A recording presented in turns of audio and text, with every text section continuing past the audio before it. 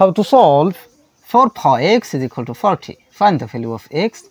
So we have 4 power x is equal to 40 can be written as 4 times 10 now uh, we apply log in both sides. So you can write here log of 4 power x is equal to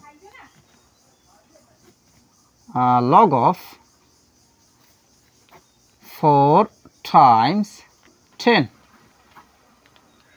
Now, here we apply a rule that log m power r is equal to r log m.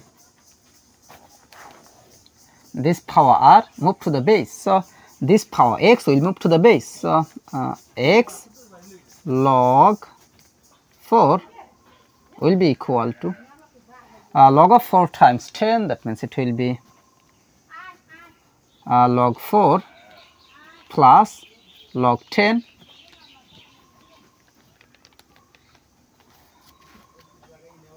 according to this formula log of a times b is equal to log a plus log b. So, this formula applied here. So, log of 4 times 10 that means it will be log 4 plus log 10. Now, uh, we divided by log 4 in both sides because we need the value of x. So, divided by log 4 uh, divided by log 4. Now, this log 4, this log 4 will be cancelled.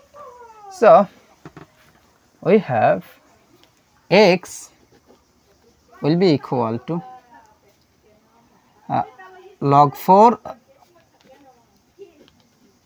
over log 4 then plus log 10 uh, that means is same as on. Log 10 is same as on over log 4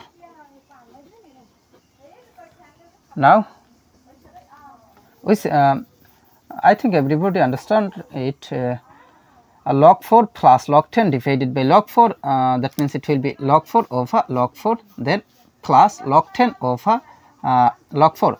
So, log 10 can be written as on because log 10 is same as on. Now, we see this log 4 this log 4 will be cancelled. So, we have x will be equal to uh, here on here on. So, on divided by on that means it will be on plus on over log 4. So, uh, this is the value of x. So, this is our final answer. After that